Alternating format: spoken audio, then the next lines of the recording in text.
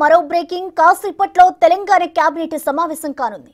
CM Revanth Reddy అధ్యక్షతన సచివాలయంలో జరిగే ఈ సమావేశంలో పలు కీలక నిర్ణయాలు తీసుకున్నారు. ఇందిరమ్మ కమిటీలు కులగణన ఎస్సీ వర్గీకరణకు సంబంధించిన విధి విధానాలపైన మంత్రివర్గంలో చర్చించి క్లారిటీ ఇచ్చే అవకాశం ఉంది. అలాగే ఉద్యోగులకు పెండింగ్ డిఏలపైన కూడా నిర్ణయం తీసుకునే ఛాన్స్ కనిపిస్తోంది.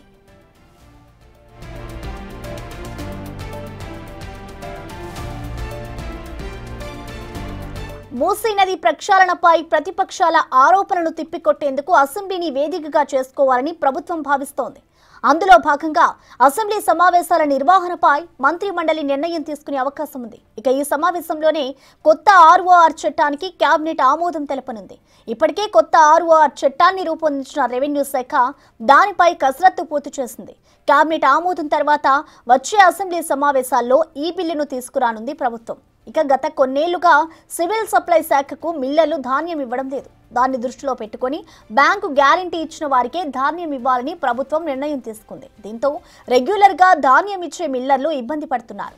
కొత్త మిల్లర్లతో పాటు ఇప్పటి వరకు ఎటువంటి రిమార్క్ లేని మిల్లర్లకు బ్యాంకు గ్యారంటీ లేకుండా ధాన్యం ఇచ్చేందుకు కేబినెట్ నిర్ణయం తీసుకోనుంది.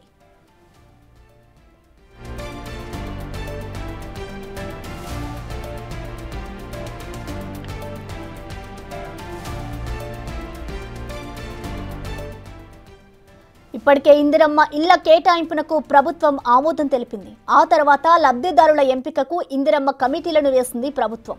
ఇందిరమ్మ కమిటీలను కేబినెట్లో ఆమోదించి నిధులు మంజూరు చేయనున్నారు. మూసీ పునరుజ్జీవం విషయంలో ప్రతిపక్షాలు చేస్తున్న ఆరోపణలు బాధితులకు ఇవ్వవలసిన ఆర్థిక సహాయంపై మంత్రి మండలిలో చర్చ జరగనుంది.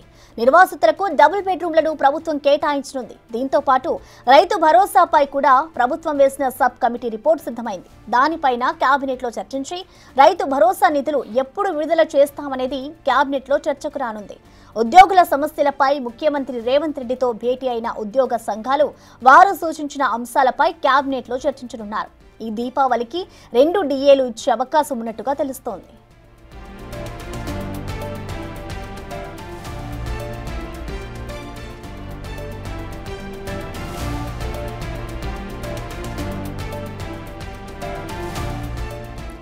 అసెంబ్లీ సమావేశాల నిర్వహణపై కేబినెట్ నిర్ణయం తీసుకోనుంది.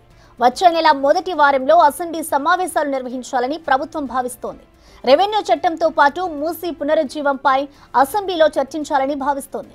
మూసీ నది రక్షణపై ప్రతిపక్షాలను కార్నర్ చేసేలా అసెంబ్లీ వేదికగా ప్రభుత్వ విధానాన్ని ప్రజలకు తెలపనుంది. కొడంగల్ నియోజకవర్గంలోని మద్దూరు గ్రామ పంచాయతీని మున్సిపాలిటీగా ఏర్పాటు చేస్తూ కేబినెట్ నిర్ణయం తీసుకోనుంది.